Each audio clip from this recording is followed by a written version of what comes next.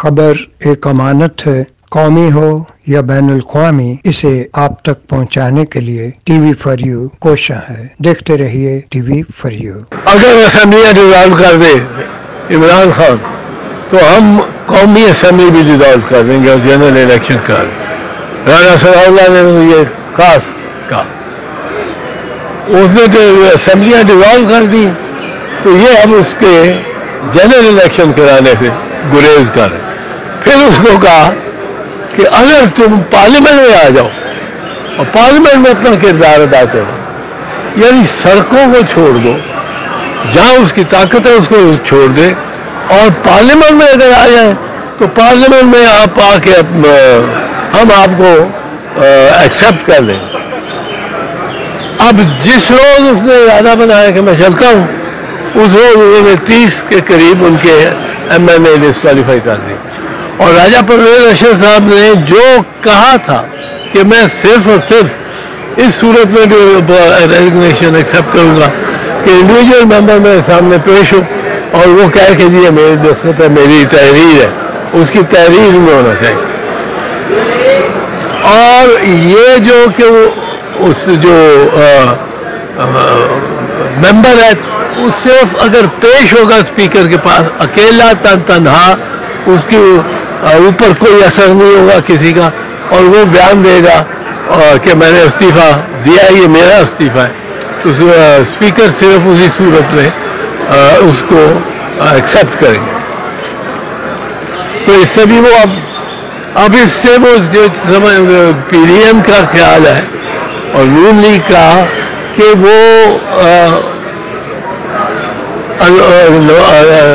इमरान खान की जो तादाद है मेम्बरान की उसको इतना कम कर दें कि ना वो नो कॉन्फिडेंस मोशन को मूव कर सके और न ही वो आ, आ, कोई मौसर किरदार अदा कर सके उसकी टॉप लीडरशिप को डिस्कालीफाई कर।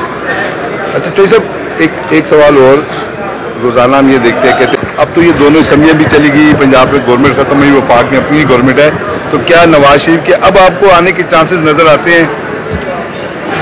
मुझे तो चांसेस नज़र नहीं आते नवाज़ शरीफ के आने के। और उसकी वजह यह नहीं है असम्बलियाँ और उसकी अक्सरियत या वो आ, मतलब है आए और उसको आ, रिसीव कर रहा है वो गवर्नर और उसको उसके घर को डिक्लेयर किया जाए जेल और उसमें उसको रखा जाए, रहने दिया जाए। जब तक उसकी बेल नहीं होती या अपील का फैसला नहीं होता। ये बात नहीं है। ये कोई समझते हैं तो ये गलत समझते हैं। मेरे ख्याल में नवाज़ शरीफ के लिए मुश्किल हो गया आना जब से उस पर इल्ज़ाम लगा है कि उसने लंदन में एक प्लान बनाया कॉन्स्पिरसी की, एक साजिश की। और उस साजिश, उस लंदन की साजिश की पर अमल करते हुए वो अरशद शरीफ को कत्ल किया गया और इमरान खान को गोलियाँ मारी गई। ये बड़ा सीरियस ऑफेंस है। कि कॉन्स्पिरसी लंदन में हो। लंदन वालों के लिए भी ये बड़ा है और वहाँ की पुलिस इसको बहुत संजीदगी से लेगी कि लंदन वाली पुलिस के इख्तियार समात में एक साजिश होती है। एक दूसरे मुल्क के आ, उसको सबक वज़ीर आज़म को और एक बड़े साफी को।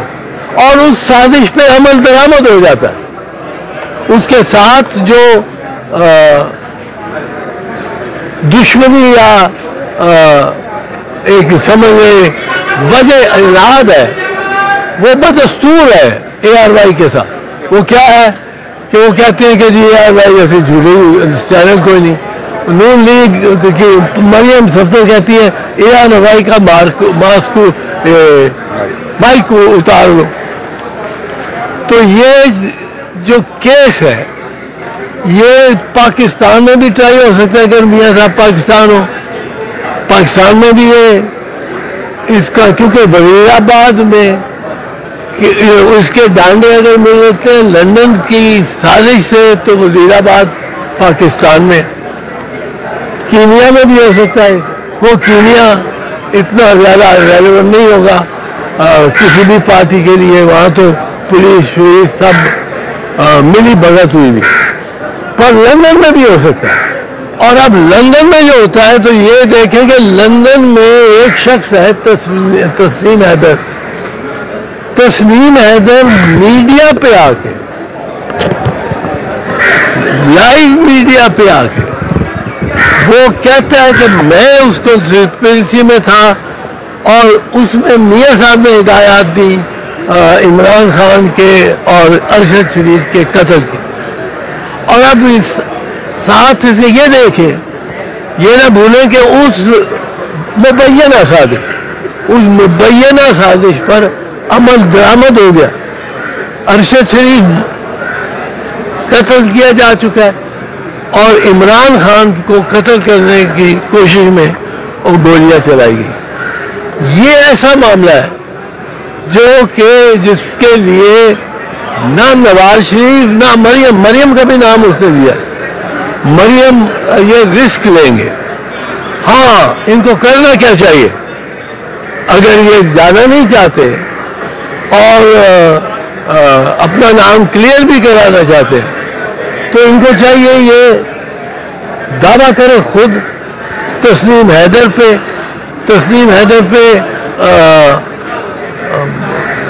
दावत हद तक इज़्ज़त का दावा करें।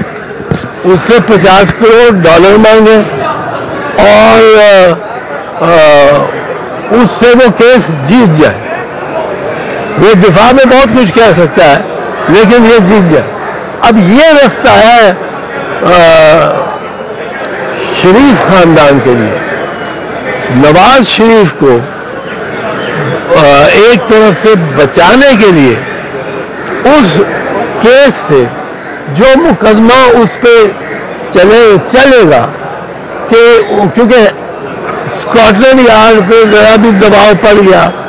या किसी जमात में स्कॉटलैंड यार्ड पे ये वहाँ मुजाहरा शुरू कर दिया उनके बाद। तो ये मियाँ साहब के लिए बड़ा डेंजरस काम हो जाएगा। लंदन में रहना मुश्किल होगा और पाकिस्तान में आना मुश्किल होगा।